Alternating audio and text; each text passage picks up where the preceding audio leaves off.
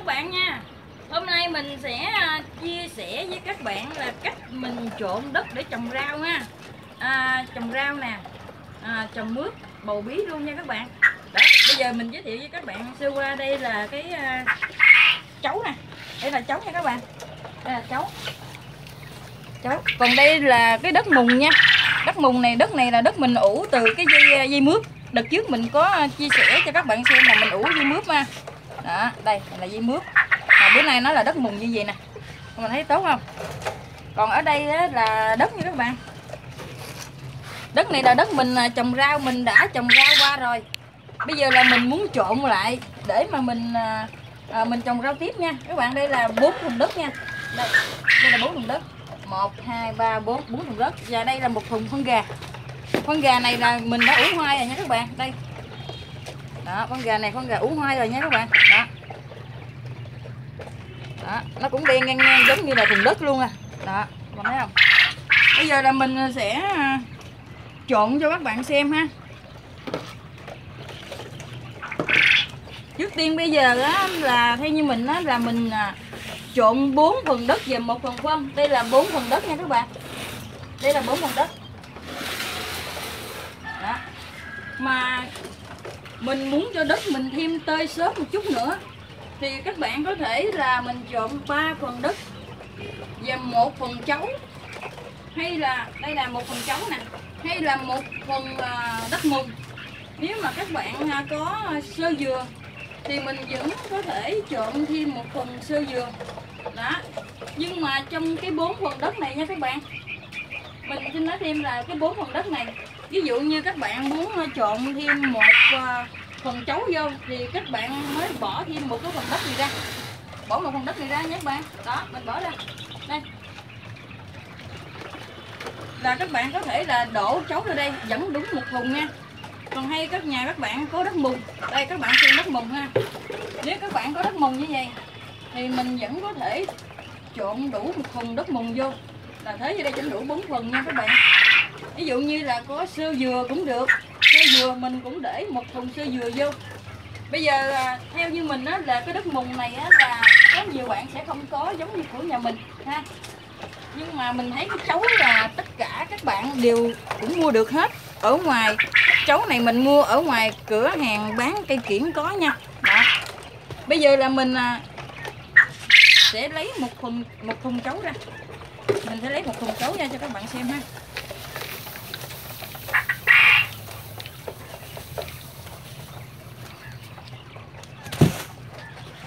đó các bạn như vậy vẫn là đủ 4 phần luôn 4 phần luôn nha các bạn. Cứ 4 phần đất và một phần phân. Nhưng các bạn muốn thêm một phần chấu nữa thì mình phải đổ một thùng đất ra. Mình thấy vô đây là một thùng chấu. Vẫn đủ 4 phần nha các bạn. 1 2 3 4 4 phần. Và một phần phân gà. Đó. Như vậy là đủ ha. Mình sẽ trộn nha các bạn. Còn mà nếu các bạn muốn à, thay thế uh, sơ dừa thì mình có thể trộn à, để sơ dừa vô bỏ chấu ra. Đó. Còn các bạn muốn để mà một nửa chấu một nửa sơ dừa không cần biết các bạn vẫn để đủ một thùng gì thôi nha đó.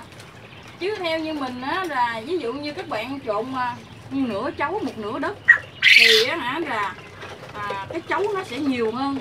Cái chấu nó nhiều quá thì khi mà mình trồng rau các bạn là cái cái cái rau của mình á nó hay bị à, uh, nghiêng nghiêng qua nghiêng lại thứ nhất. Thứ hai nữa là khi mà mình à, tưới nước đó các bạn là nó sẽ thoát rất là lẹ. Nó không có giữ nước lại một ít cho mình. À, nếu mà các bạn cứ trộn mà ba phần đất và một phần trấu là đất mình nó sẽ sát lên một chút. Thứ hai nữa là khi mà mình tưới nước đó các bạn là cái cái cái đất đó, đất thịt đó các bạn nó còn giữ giữ lại một chút xíu nước nên nó sẽ lâu khô hơn. Còn mà có trấu nhiều quá một một nửa chấu một nửa đất thì nó sẽ làm cho cái cái cái nước nó thoát rất là lẹ. Đó. rồi cái cái đất của mình nó sẽ bị ờ, mau khô. Đó. À, bây giờ là mình sẽ đổ ra mình trộn cho các bạn xem ha. Đây ba thùng đất. Cái đất này là mình đã trồng rau rồi. Bây giờ là mình ờ, trộn lại để mình trồng ờ, cái rau mới nha các bạn.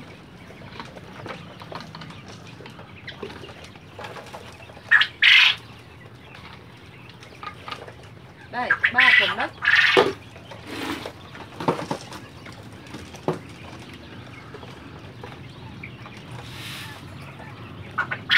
Và một phần trống nha các bạn.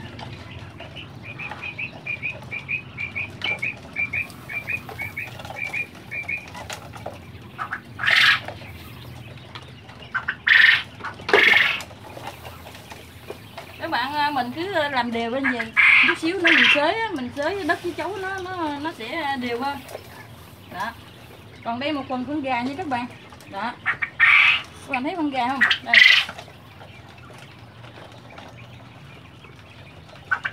Đó. Như vậy là đủ rồi bạn ha.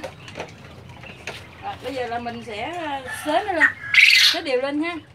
Các bạn thấy con gà của nhà mình ờ, hoai không? Tươi á. Tơi thì là tươi, đó giờ là mình làm như vậy để mình xới lên cho nó dễ nè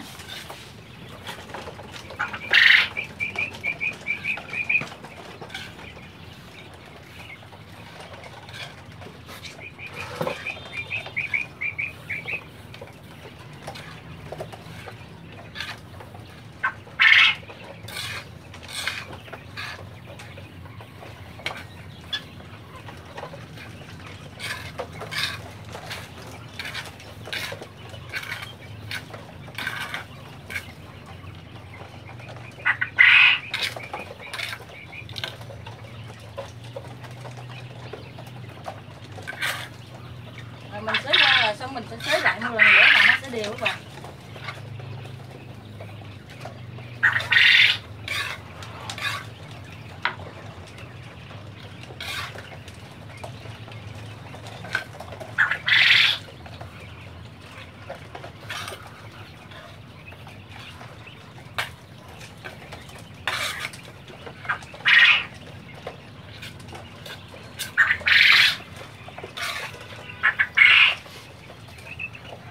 Bạn thấy không?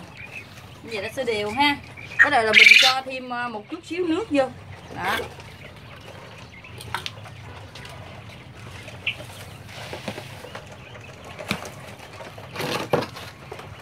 Các bạn à, à, trộn xong các bạn à, tưới thêm nó miếng nước nha. Đừng có để khô quá rồi nó nó nó không có phân với đỡ đất á. Nó không có lẫn lộn với nhau. Mình gì cho nó nó hòa quyện với nhau hơn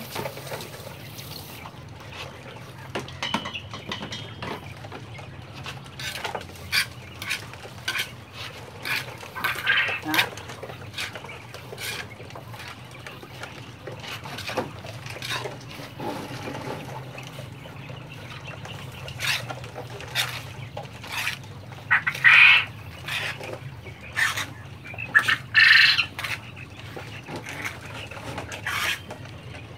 nếu mà đất của các bạn mà nó bị à, bị mình thấy nó hơi bị khô quá các bạn thì mình có thể à, xịt xịt thêm nước nữa để cho khi mà đất nó ẩm lên như vậy nè các bạn. Đó các bạn thấy không?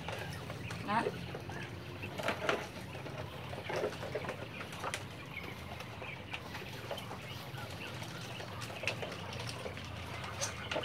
Như vậy nha các bạn. Như vậy là mình à, hốt ra là mình à, trồng rau được liền luôn các bạn. Cái đất này là mình trồng rau được liền luôn còn mà nếu mà khi mà các bạn mà đất mà nó có các bạn mà có dư nhiều á thì mình cứ trộn sẵn mình cho vô thùng. À, vô thùng nè thùng xốp các bạn mình để dành đó. Khi mà mình mà có rau là mình chỉ đổ ra mình trồng thôi mình không cần phải trộn. Đó là như vậy. Các thấy không? Nó rất là tuyệt lắm